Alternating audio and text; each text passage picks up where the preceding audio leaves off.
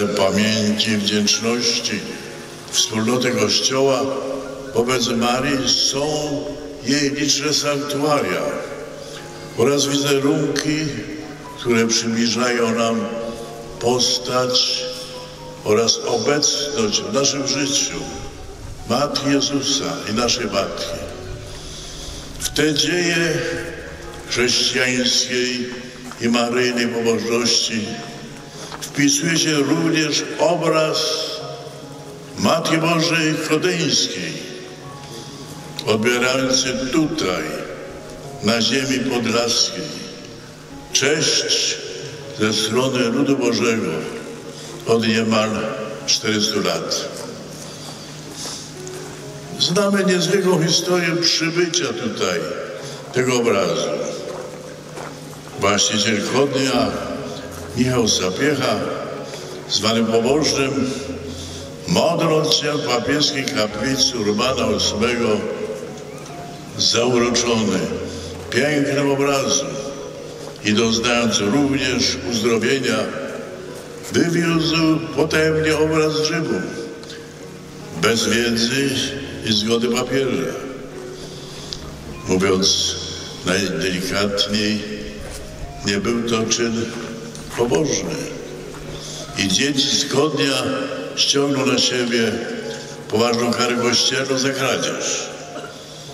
To było w 1631 roku. Na szczęście pięć lat później kodeński pielgrzym odbył ponowną podróż do Rzymu, pojednał się z papieżem, odbył pokutę i uzyskał zgodę na pozostawienie obrazu w Kudniu, dla którego wybudowano później okazały kościół. Trafnie określają całe to wydarzenie dwa słowa. Błogosławiona wina. Na obrazie Maryja przedstawiona jest w królewskich szatach, trzymając w ręku dziecię, a w prawym berło. Taka ikonografia zapowiadała niejako ozdobienie obrazu królewskimi koronami, co jak wiemy nastąpiło dokładnie 300 lat temu, 15 sierpnia 1723 roku. W tym dniu na schronie Maryi i jej boskiego Syna nałożono, nałożono złote korony. Była to, jak wiemy, jedna z pierwszych koronacji obrazu Matki Chrystusa na naszych ziemiach. Dziś dla upamiętnienia tej rocznicy nałożymy na chodeńskim obrazie Maryi i Syna nową, jubileuszową koronę, pobłogosławioną przez papieża Franciszka. Maryja towarzyszyła wiernie Jezusowi. Była przy nim także pod krzyżem, z wysokości którego powierzył jej macieńskiej opiece umiłowanego ucznia Jana, a przez niego cały Kościół.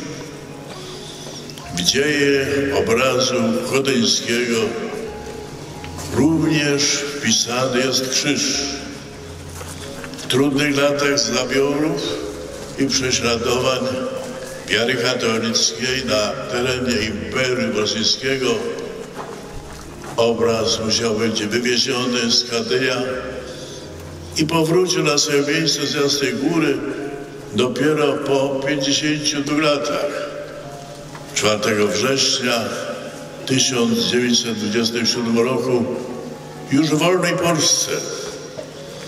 Za kilka lat będziemy obchodzić setną rocznicę powrotu do Chodnia Królowej i Matki Podlasia. 50.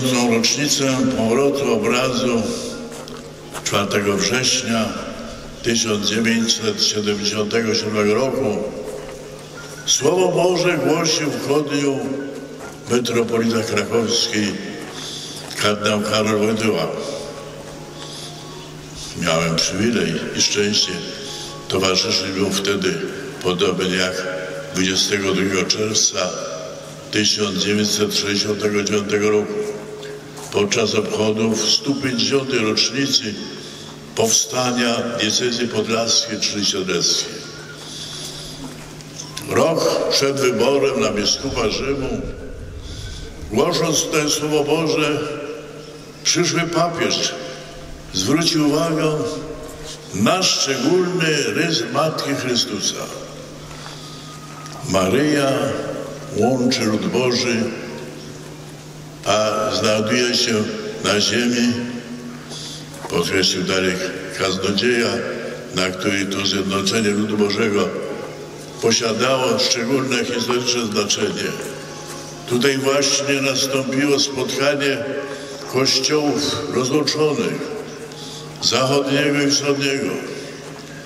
Tutaj dokonywało się i dokonało się zbliżenie tych kościołów, zjednoczenie, Unia. Był to koniec XVI wieku. Mikołaj Sapiecha czuł ten szczególny duchowy proces, któremu koniecznie potrzebna była matka, obecność matki. Matki, która jednoczy. Matki, która zna wszystkie swoje dzieci. Bez względu na to, czy mówią po polsku, czy mówią po rusku, czy mówią po litewsku. Zna je jako dzieci i jest im wspólną jedną matką.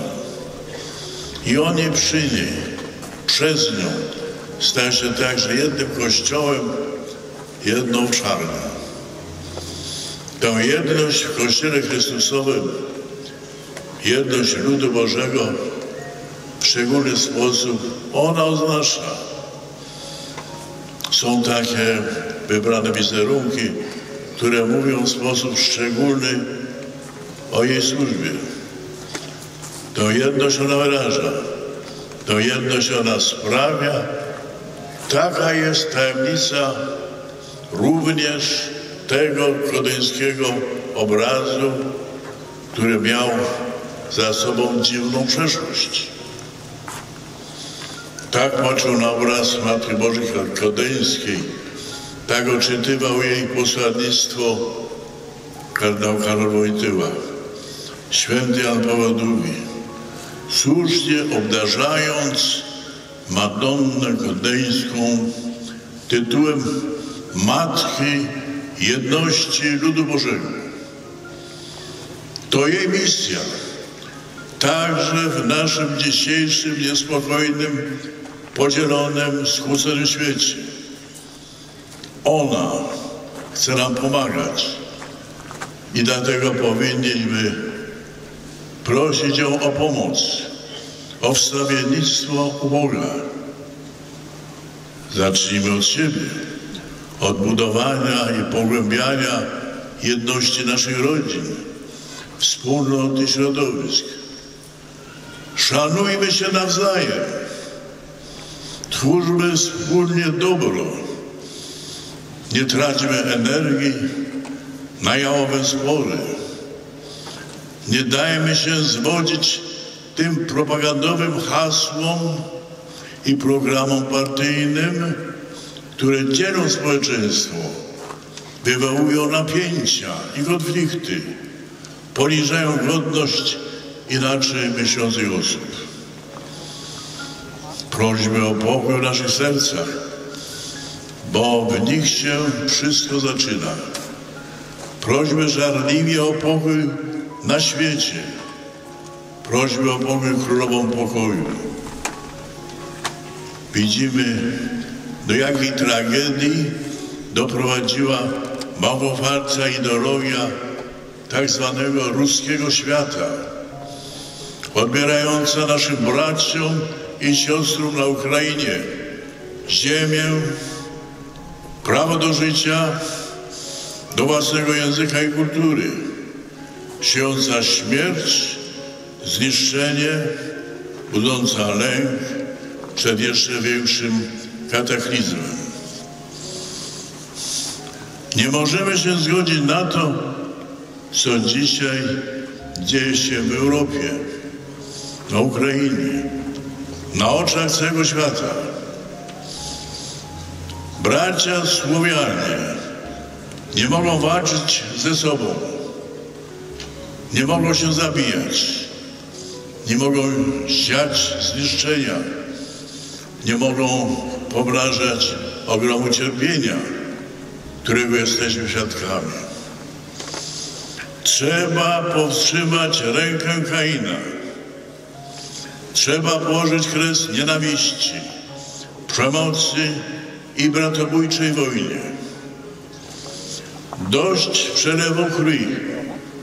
Dlatego dzisiaj z tego sanktuarium w Kudniu wzywamy do opamiętania, do szukania dróg sprawiedliwego pokoju i pojednania. Bracia Słowianie, dajmy światu przykład braterskiego współżycia naszych narodów, a nie ślepej nienawiści. Niech Matka Boża Chodeńska będzie nam przewodniczką drogi w dążeniu do zażegnania wojny, do pojednania i do pokoju. Wraz z papieżem Franciszkiem składamy przyszłość ludzkości dłonie Maryi, Królowej Pokoju. Co mogłaby nam dziś powiedzieć Matka Boża Kodeńska, będąca niezwykłym świadkiem wiary ludu Bożego na Podlasiu? W ostatnich czterech wiekach i sięgająca swym stworzeniu dalej, wyżej, głębiej. Ona zawsze prowadzi do swego Syna i mówi nam, podobnie jak do słuch w Kanie Galilejskiej, zróbcie wszystko, co Gory tego powie. Trzeba na Nim, na Jezusie, na skalę budować nasze życie osobiste, rodzinne i społeczne. Trzeba, tak jak ona, zawierzyć Bogu, postawić Go w centrum naszej egzystencji i wszystkich naszych spraw.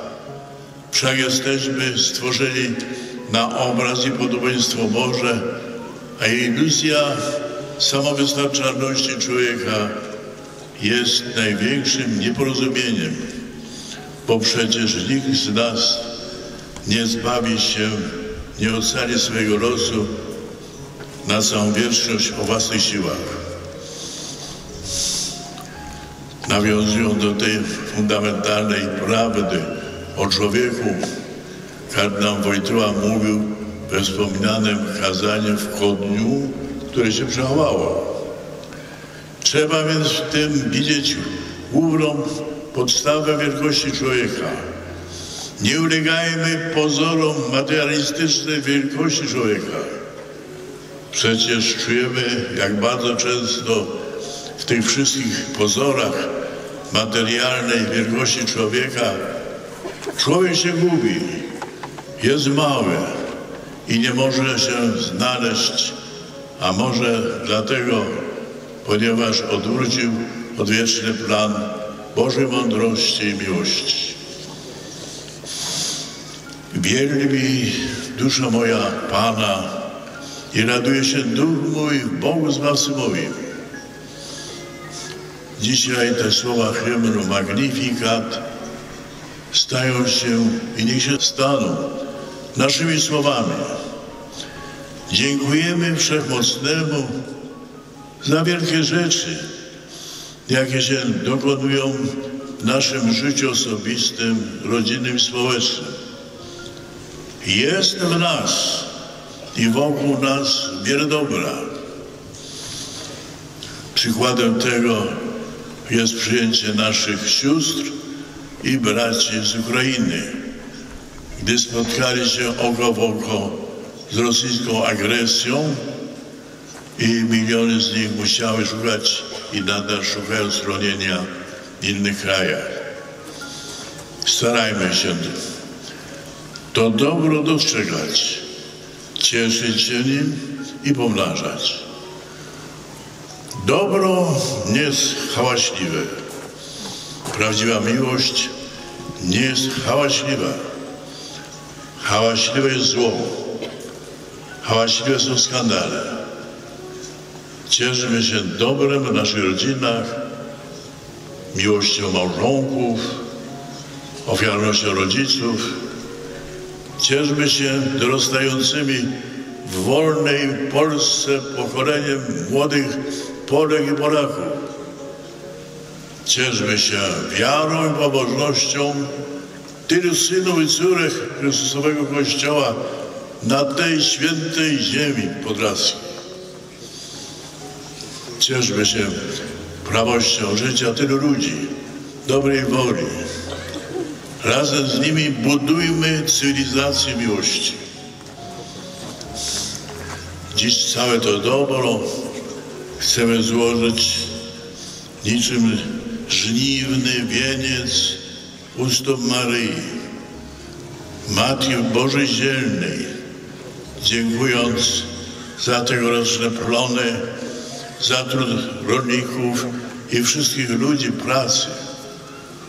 Prośby Matkę Bożą Kodeńską, by miała w swej opiece papieża Franciszka, cały Kościół Boży, Kościół naszej ojczyźnie, tutejszą diecezję i świat cały. Módlmy się. Królową i Matko pod Podlasia, módl się za nami. Matko jedności ludu Bożego, módl się za nami. Królowo pokoju, módl się za nami. Święty Janie Paweł II, módl się za nami. Amen.